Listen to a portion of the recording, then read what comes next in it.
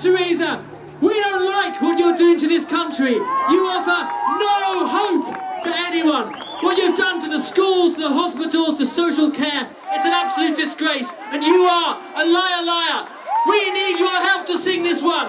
We're going to have your voices. Here we go.